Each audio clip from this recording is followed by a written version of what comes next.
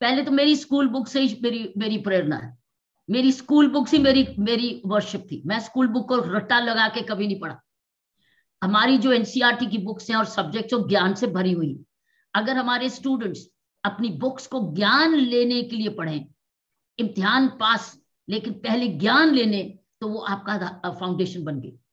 उसमें history geography biology chemistry environment sciences social sciences political thought सब कुछ कोई रीजन है कोई कारण है जीवनिया ये कारण है। ये आपकी आपकी फाउंडेशन बनाती है आपकी नींव बनाती है। These are called foundational books मेरी पहले तो स्कूल बुक्स मैं इतनी स्कूल बुक्स की बड़ी शौकीन थी कि मैं स्कूल बुक्स को एज अ स्टोरी बुक पढ़ती रहती थी और एडवांस रीडिंग करती थी स्कूल क्लास जाने से पहले।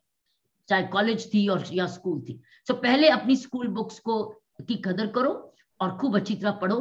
एब्जॉर्ब करने के लिए नॉलेज के लिए जनरल नॉलेज के लिए अवेयरनेस के लिए एक एक शब्द बड़ा कीमती है मतलब यह है कि अगर आप पढ़ाए का की स्पिरिट ऑफ़ लर्निंग अगर आपकी शुरुआत में ठीक बन जाती है तो you are always hungry to read फिर आप आध्यात्मिक बुक्स जोड़ देते हैं।